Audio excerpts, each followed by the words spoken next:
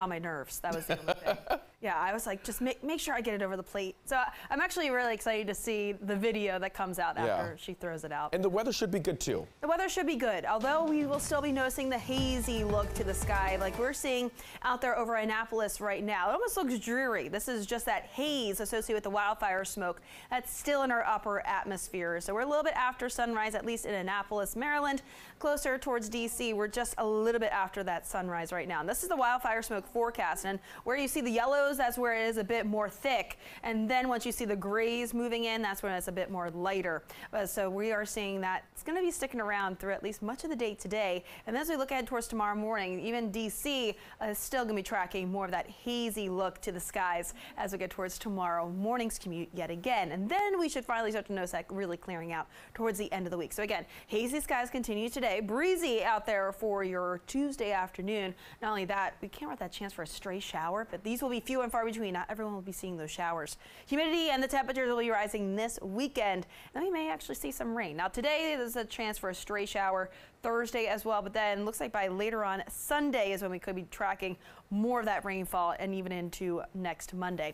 Temperatures out there right now, we are 40s and 50s for much of the region, but we are into the low 60s in DC. That is the warmest spot on the map at this point. Those winds relatively light right now mainly out of the west northwest, between 3 to 7 miles per hour. These will pick up later on this afternoon. We're looking at 10 to 15 mile per hour winds, mainly out of the north and west, a few gusts in excess of 25 miles per hour. Satellite radar showing us the setup. We do have this cold front off towards our north. That'll continue to sink its way southbound, and that'll be pushing in later on this afternoon. think between 3 p.m. or even a little bit later than that, and that will spark up that shower threat later on today. This is a view of 3 p.m. on Futurecast, showing us a few of those splotches of green.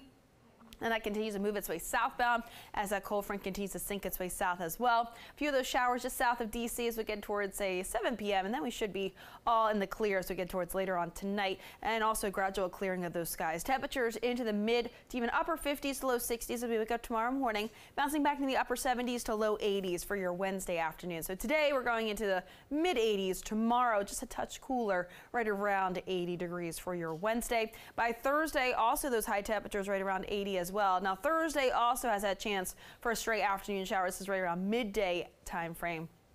So we could be seeing a few of those. So again, that cold front diving its way southbound for our Wednesday. Thursday, also looking mainly dry aside from right into the middle of the afternoon with that disturbance just off towards our east. That could be throwing us a few of those spot showers. And then Friday is all dry. Uh, We'll start to notice a few of those clouds strolling on in. And then by Saturday, also dry. It's Sunday that we'll be watching for later in the day for some showers. Thinking closer towards later on towards the evening and night time frame. But over the next three days, look at the straight afternoon showers today as well as Thursday. Wednesday is looking dry, high temperatures right around the low 80s that day. Looking at towards the rest of that seven day forecast, so we're back in the mid to even upper 80s for this upcoming weekend, and that's when we're going to be tracking mainly dry conditions aside from showers. That'll be returning to the forecast later on Sunday, and those scattered showers and even possibility of some thunderstorms. That threat will continue into next Monday. Shanika, how are those roadways out there this morning? It's looking pretty